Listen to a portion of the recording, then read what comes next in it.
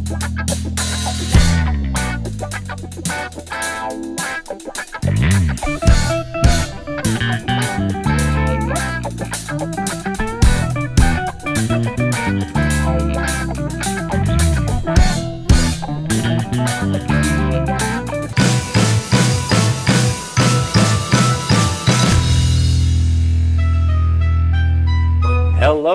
Wide Web. Welcome back to the Hanging With Web Show. I'm GW Pomichter. Thanks for logging on and tuning in. If you haven't already, go on down and hit subscribe.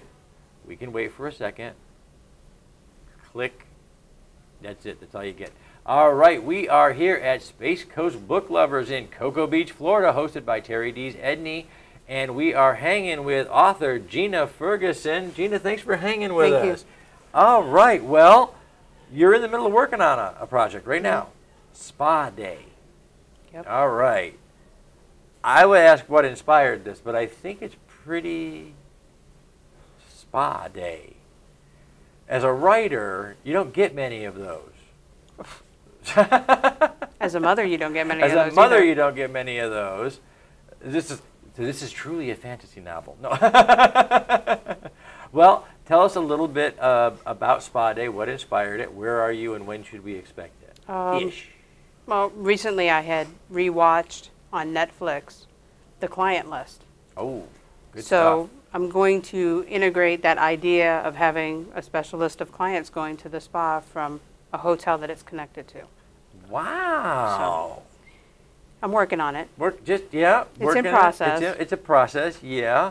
Um, so, how many books are out there now? What number Six. is this? So this is This number number seven. seven. Mhm. All right. Um, when did you start writing? I actually started writing when I was in high school, Okay. but I didn't take it as a serious move uh huh. because you know when you're young you don't think about the possibilities of that kind of thing because it's just like a little hobby. And um, I didn't think I'd ever get published, but about mm, about six years ago, Mm-hmm. maybe five and a half ish, I decided to go ahead and write a story down that I had run through my mind a couple of thousand times, and I just decided to put it down on paper. And I had some friends read it at work, and they thought it was really good. And um, I continued with it, and I finished the story, and I decided, well, what the heck? I'm going to give it a try, see if there's any publishers out there that would be interested. And believe it or not, the third publisher that I had sent it to actually wanted to publish it. Awesome. That in and of itself is a gift. Right. Um, unfortunately, the relationship with that publisher didn't work out for very long. They, are, they were having other legal issues with other authors, so I pulled my work from them and decided to indie author those two books, Okay. which was actually after I wrote my fourth one. Um, my third book that I wrote, the first two were with that original publisher. The third book was with another publisher, Tape Publishing. Fantastic people. Great. Unfortunately, they just went out of business. So now I am 100% indie published. Well, So- you know, it's interesting because so many authors that, that we talk to, um, everyone has a different path on their artistic journey. Um, we have a lot of indies that would like to be hybrid or like to be traditionally published.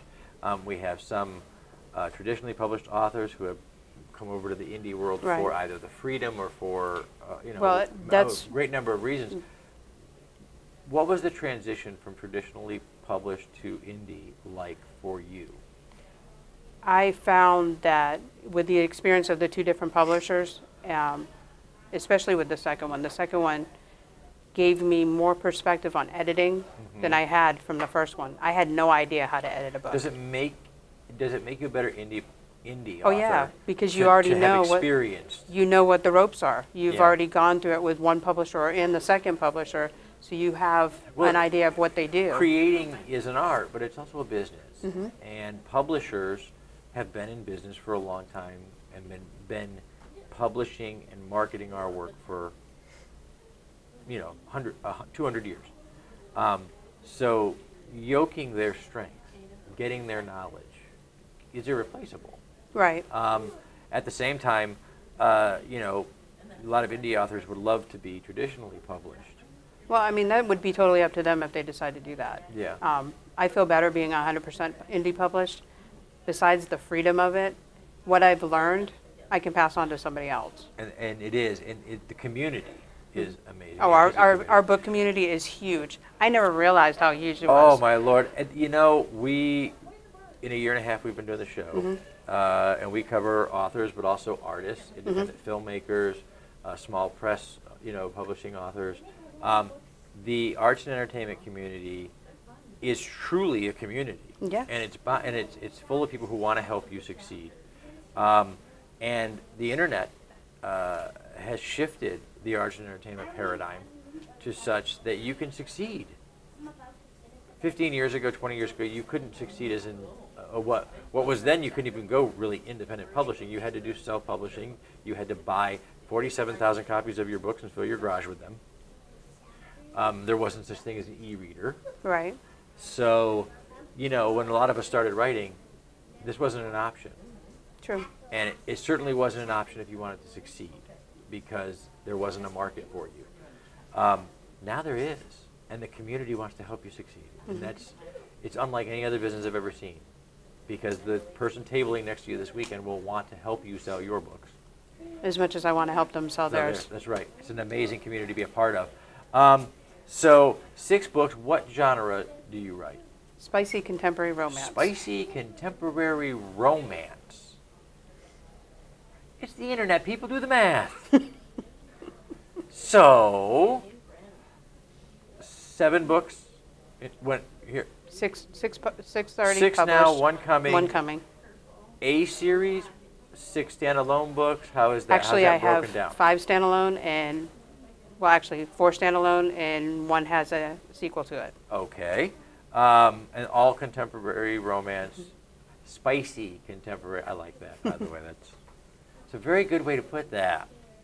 Um, okay. Uh, we're going to put some links down below Okay. uh, to your social media pages, your Amazon account, uh, your personal phone number. No, no, I'm teasing. Uh, just ways that our people out there on the World Wide Web can stalk you and find your work Cool. um, and look for you. And now we're going to get into the fun part of the show. I call this part clickbait. Clickbait are those crazy headlines that you just can't not click on. Like, you know, what was your favorite teen idol and what do they look like now? See? Okay. We've taken that and bent it a little bit. She's found some really weird questions. She asks them. Sometimes they're really weird, sometimes they're harmless. Just They're depends on where I go always with a them. surprise.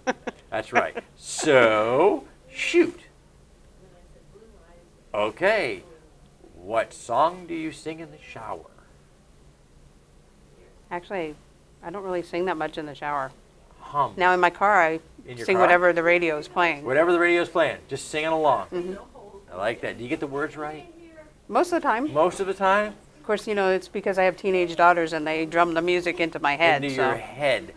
What's the last song that, that, that one of your girls got stuck in your head, like for the whole day, you just couldn't get rid of it? Um, Because you know that's what Too kids, many. That's what kids do, right? They get up in the morning and they start, and by the end of the day, you find yourself humming in the kitchen. And you're like, "What? Why can't I get rid of that song?" Do you remember know, what right off the top of my head, there's so many. It's I couldn't. It's, I you couldn't can't even pick tell just you. one. No. It's it's every day something different. Yes. The beauty of having children. Uh, if you were a candy bar, what would you be? Snickers bar. A Snickers bar. See that? And she had to do it. And that's what I got. An orangutan walks in holding a big stick and wearing a top hat. What does he say? Yeah, see? Ta-da! He announces his presence with authority. That's what the ta-da is. Ta-da! Okay. I'm here. See? I think he was carrying a stick and a top hat. He already was announced. Yeah, he was good. All right, so you are a writer of spicy contemporary romance, but what is your hidden talent? Well, it was hidden till now. Now it's going to be on the internet. Um, You're going to get requests now at your next signing. I love to sing. You love to sing. Not in the shower. Only in the car. Well, Or around the Karaoke. house. Karaoke. Okay. While you're vacuuming. yeah, there you See, go. See, there you go. Um, okay. What kind of music? Any particular genre, or are you kind of a whatever I'm genre? eclectic. I like everything. I like eclectic. Eclectic is good. I like all kinds of music. Uh, you know, we all had to grow up sometime. Favorite Saturday morning cartoon? Oh, Scooby Doo. Scooby Doo. Outstanding. Love a good mystery. and who doesn't love Shaggy? Okay, where are you going to be next? Where are you going from here? I am going to be bio-based Essen, and then I'll be at IBF. Outstanding. Well, we will definitely see you up the road. Remember, folks, look down below for links. We got to wrap it up, and we got to say thank you to our partners and our friends over at Space Coast Comics, Famous Faces and Funny, Something Unique Magazine, the Florida Book News, and the great authors over at Wordfire Press. Thank you so much, guys, for sharing these videos on the World Wide Web. I'm GW Pomichter. We are at the Space Coast Book Lovers event in Cocoa Beach, Florida, hosted by Terry Dees Edney, and we're hanging with Gina Ferguson, the author of Spa Day, coming real soon. And until then, go down to the links and grab one of, of one of Gina's other books, and just get yourself all enjoy a book. I'm GW Pomichter. Remember, folks, subscribe, log on, GW knows how to get tongue-tied, too. and see who we're hanging with next.